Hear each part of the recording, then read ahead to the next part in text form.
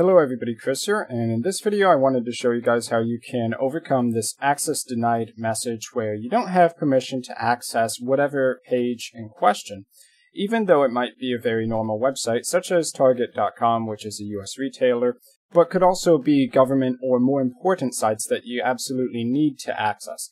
So one of the main reasons you may run into this issue is that you happen to be in another country. So when you go to these web servers, the only thing they care about is what country are you basically coming from. So if they see you're from a country which they don't think would have any normal customers, but more expect to receive spam mail or that kind of thing, then they might outright just block you from accessing the site because they're trying to block all of the spammers, all of the bots, and so on and so forth. So one really useful tool you can use to get around this is a VPN, which is a virtual private network.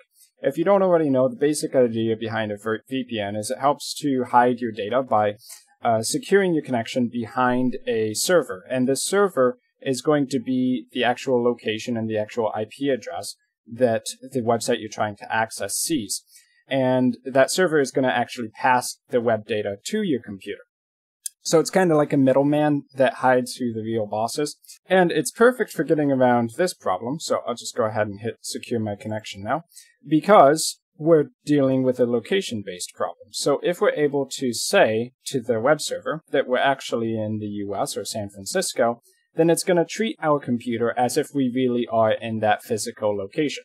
So now by connecting to the Avira VPN server, it's now saying that my virtual location is US San Francisco.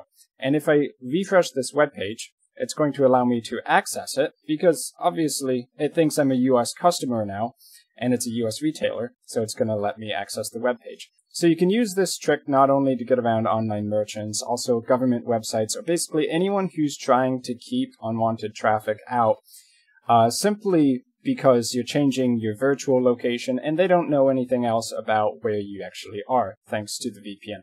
So there are free VPNs out there that can allow you to use a little bit of data, such as TunnelBear. Uh, if you're looking for a yearly subscription to a VPN, I would suggest CyberGhost. It's the best one I found. The reason I'm using Avira right now is uh, I found a really good discount on it, but that's long since expired. So I'll leave a couple links for you guys down below. I hope this helps you guys to figure out and solve this access denied problem. I've been Chris, thanks for watching, and I'll see you guys in my future video content.